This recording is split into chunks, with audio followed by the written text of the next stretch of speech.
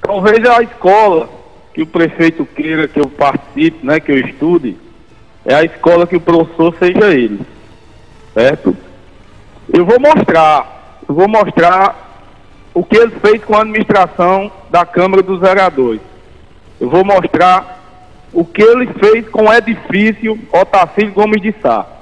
Eu vou mostrar as estruturas em que ele deixou, certo? A casa Otacílio Gomes de Sá. Deixou um chiqueiro de porco, certo? Ele é, ele é um irresponsável porque sugou o dinheiro todinho da Câmara, certo? Sugou o dinheiro todinho da Câmara, todos os anos, durante quatro anos. Foi devolvido quase um milhão para ele, certo? Para bancar a farra, para bancar a farra dele dentro dessa prefeitura, certo? Ele, primeiramente, ele mostra o extrato da prefeitura, e se a prefeitura provar que não tem condições de pagar os secretários, certo? Eu, eu, assumo, eu assumo, eu assumo. Agora, eu só faço, eu só faço alguma coisa se for com ordem judicial. Talvez ele não esteja sabendo, mas eu não fui notificado ainda dessa ordem judicial. Certo? Ou esteja sabendo, esteja usando de má fé, como ele sempre faz. Faz com os amigos, de longas datas, faz com os aliados que, a, que chegaram agora, faz com, os, com, faz com a família. Agora ele gosta desse tipo de gente. Sabe qual é o tipo de gente que ele gosta? Dos, sabe qual é o tipo de amigo que ele gosta? É que chama a família dele de, de, de elementos sem futuro, é que chama a família dele de, de, de, de, de tudo, né, de patife, de canalha, de vil. Né? Então esse prefeito aí, ele, infelizmente, ele não vem representando é, a cidade de Souza. O que ele vem fazendo são obras desqualificadas, obras totalmente fora do padrão, certo? Um asfalto que é feito, em dois meses já está os buracos se abrindo, as crateras se abrindo. Então eu não tenho nem modelo administrativo como referência o, o, o prefeito Pairone. Eu tenho um modelo administrativo, o, o, o médico doutor Gilberto, que onde, onde tudo toca vira ouro, vira trabalho, vira respeito, vira comprometimento. O hospital regional está aí para mostrar o que é uma administração, o que é um respeito aos mais pobres, aos mais humildes, é? diferente a, a, a outras situações que vem acontecendo no governo dele. E ele tem dito aí que nós, vereadores, votamos contra é, a, a, o centro oftalmológico. Eu fui, eu fui o vereador que pedi, através de requerimento, o centro oftalmológico. Mas eu pedi, Fábio, para você chamar os concursados para trabalhar no centro, no centro oftalmológico. Não foi para criar mais cargos, não. Eu votei contra você para você não criar mais cargos e deixar os concursados a ver navios. Mas eu pedi, Fábio, para você chamar os concursados para trabalhar no centro, no centro oftalmológico. Não foi para criar mais cargos, não. Eu votei contra você para você não criar mais cargos e deixar os concursados a ver navios.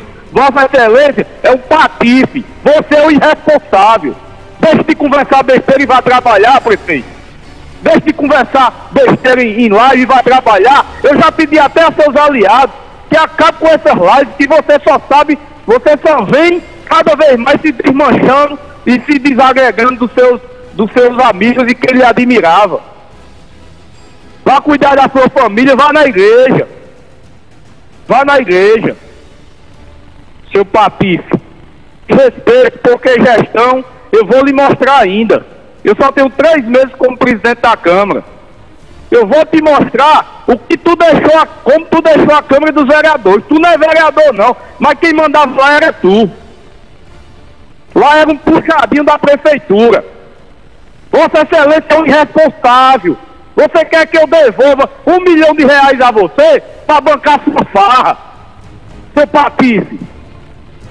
Você quer que eu devolva um milhão de reais todo ano para você pagar é, é, é, coisas que não, nem sequer a gente pode fiscalizar? Que nós, vereadores, queremos fiscalizar o dinheiro por devolvido da Câmara e, e, e não, não temos esse direito porque a lei e a justiça não permitem. Agora nós vamos fiscalizar todas as suas obras. Tenha respeito aos seus colegas vereadores. Tenha respeito. Nunca na história de Souza foi pago é, é, é, secretário de governo pela Câmara dos Vereadores. Trabalhe, pague a seus funcionários, pague a seus secretários, que essa manobra que você vem fazendo é desde antes. Tinha secretário que assumia duas, duas pastas para você economizar, economizar o dinheiro e sustentar sua farra. Mas eu tô, eu tô aqui, eu vou fiscalizar. Eu vou mostrar a você como é que se faz uma administração numa Câmara. Agora não tente me prejudicar, não. Não tente é, derrubar uma, uma pessoa que venceu você, venceu na democracia. Tem aliado seu aí, eu não vou, eu vou respeitar meus companheiros. Tem aliado seu aí que não aguenta nem escutar a sua voz, não aguenta nem olhar para você. Trata você como um asqueroso. Mas como precisa, tá aí, sentadinho ao teu lado direito da tua live. Um abraço, não tenho mais nada a, a falar sobre esse cidadão. Boa tarde e, e, Deus nos abençoe. E vamos ao outro. 2024 tá aí. Ele, ele, o discurso dele é de rei. Só quem sabe gerir é ele, só quem sabe administrar é ele. Ele fala de estabilidade, ele fala de descumprimento de lei. Olha quem está falando aí sobre um descumprimento de lei. Você é de velhinho e devia ter vergonha na cara por ser velho e descumprir uma lei para revertir de cesta básica. E mandar seus advogados da procuradoria negar leite a uma criança, negar cirurgia. Vá fazer o hospital do câncer, vá fazer o Laureano fez 3% da obra, um milhão de reais na conta, e você só fez 3% da obra. Vergonha, prefeito. Isso me entristece. Me entristece mais a, a tantos homens de bem que, que tem Souza e ainda está do lado, alguns, né? Porque está se acabando. Está se acabando. Ele está expulsando todos os, os, os, amigos e pessoas de bem de Souza. Fornecedor nenhum quer conversa com ele. Mas enfim, Vamos à luta. Um abraço, amigo.